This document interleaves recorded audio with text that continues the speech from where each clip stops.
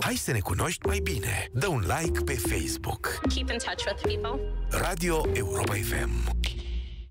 Apropo de Facebook, suntem pe Facebook începând din acest moment pe pagina noastră Radio Europa FM pentru că începe Autofan alături de Dan Vardie. Uh, salut Dan, uh, bine ai revenit alături de noi. Salut Radu, bine te-am găsit. Bine v-am găsit uh, Europene FM. Mă rog, cât de bine putem să ne regăsim uh, în aceste zile atât de neplăcute. Încercăm să facem bine, nu știu cât de bine face industria auto, greu încercat în vreme de pandemie, cum se descurcă în vreme de război? Asta ar fi prima întrebare. Bravo, mai avem puțin și scriem și un roman pe tema asta. Ultima noapte de pandemie, primele nopți de război pentru industria auto, da. Uh, Radu, situația este evident uh, din rău mai rău, dacă se poate spune așa.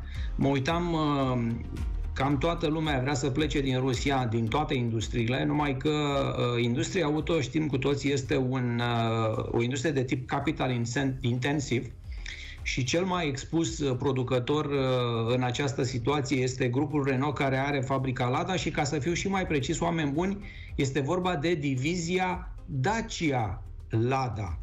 Deci, marea problemă e mult mai aproape de România și de București și de marca Dacia decât ați putea crede, pentru că Denile Vot, care este CEO-ul, președintele grupului Dacia Lada, este cel care trebuie să rezolve problemele, așa cum eu cu Radu am tot vorbit aici la Europa FM despre Denile Vot, ce face el cu Dacia și unde a ajuns. Iată că același Denile Vot trebuie să încerce să găsească soluții la problemele uriașe care sunt în momentul acesta în Rusia deci a pleca în acest moment uh, e foarte riscant. De altfel, au și apărut voci de la Crălim care spun că dacă cineva vrea să plece, să plece, se naționalizează. Oameni buni, amintiți-vă, parcă suntem în anii 40 când se naționalizează o fabrică de miliarde.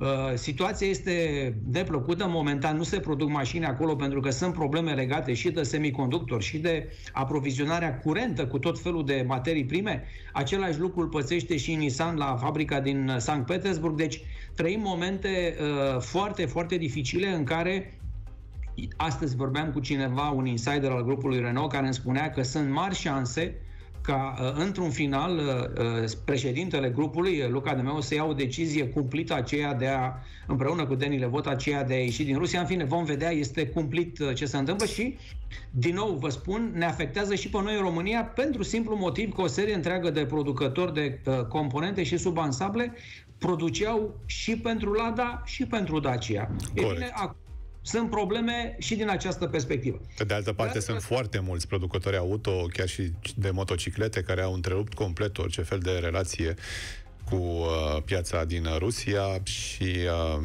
cam asta se întâmplă în acest moment. Au renunțat cam toți cei care aveau uh, business-uri acolo, în acest domeniu. Pe de altă parte, Radu, au fost și lucruri bune în această perioadă. Mă grăbesc să spun că la Barcelona a avut loc uh, celebrul Mobile World Congress. Iată, lumea pe de altă parte încearcă să revină la normalitate. Au fost câteva idei interesante acolo. Prietenul nostru, Henrik Fisker, de care de asemenea am vorbit de-a lungul anilor, a venit, în sfârșit a arătat uh, mașina sa uh, Fisker Ocean, care are trei chestii Uh, în premieră mondială absolută, el spunea în timpul conferinței de presă că, uh, fiind un producător atât de mic, își poate permite să vină cu ultimele noutăți, pentru că producătorii mari au nevoie de comitete care să aprobe și, interesant, aceste trei mari premiere uh, nu le are nimeni, am verificat.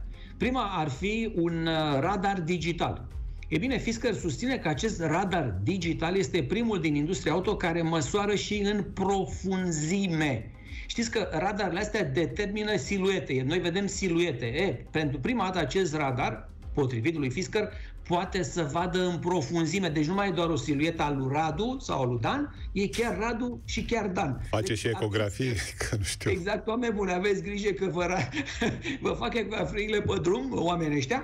A doua noutate este o tabletă care se rotește când o pui în poziție verticală, când în poziție orizontală. Fisker a explicat uh, această facilitate unică în, în uh, istoria, cel puțin actuală, a automobilului, prin faptul că atunci când uh, vrei să-ți încarci mașina, dacă tot n-ai ce face, stai frumos în mașină, îți iei o băutură, evident ceva răcoritor, apă, cafea, îl pui în landscape și te uiți la un film.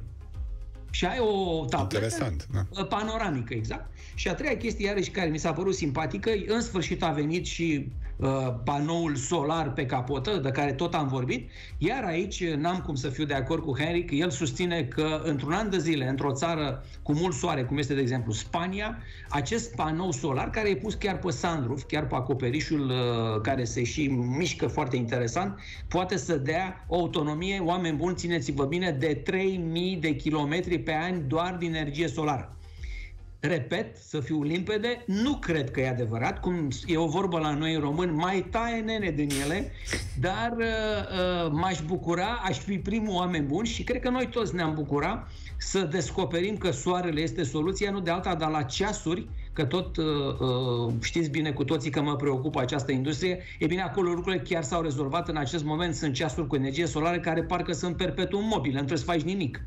În fine, vreau să terminăm, Radu, și cu o veste uh, iarăși interesantă. Uh, s-a prezentat la Paris uh, noul Austral, nou Renault Austral, care la rândul lui vine cu niște lucruri interesante și anume Uh, pentru prima dată uh, în această zonă avem Google Services gata instalate pe uh, mașină. Mai e doar una singură Renault Megane, tot de la Renault. Vorba lui Luca de meu, nu știu ce uh, spunea la o discuție, nu știu ce le-a luat atât de mult timp ăstora din industrie, de n-au implementat direct Google Services, pentru că, trebuie să o spunem, americanii de la Google stăpânesc internetul, stăpânesc informațiile și când vine vorba de navigație, oameni buni știm cu toții că dacă n-ai în mașină un Android Auto sau un Apple CarPlay, cu actualele sisteme de navigație, indiferent de brand, Mercedes, BMW, Rolls-Royce, poate fi orice, uh, lucrurile stau foarte prost pentru că nu avem în traficul uh, în vedere. Și da. uh, mai vreau să mai spun, Radu, ultima veste, că uh, e bine să terminăm cu o veste foarte optimistă.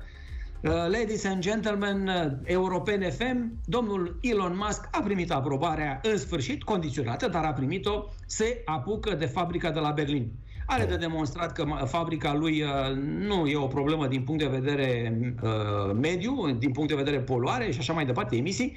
Uh, a spus că o face în două săptămâni.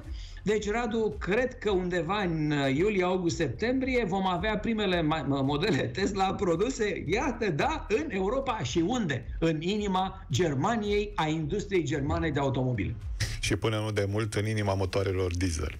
Mulțumesc foarte mult, uh, Dan, pentru toate informațiile și pe care da. ni le-ai adus. Te așteptăm cu interes și săptămâna viitoare la Autofan. Seară bună, îți dorim!